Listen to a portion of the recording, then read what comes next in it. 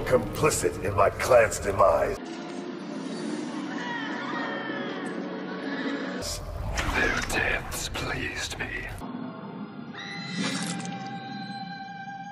For the Shirai Ryu, you die.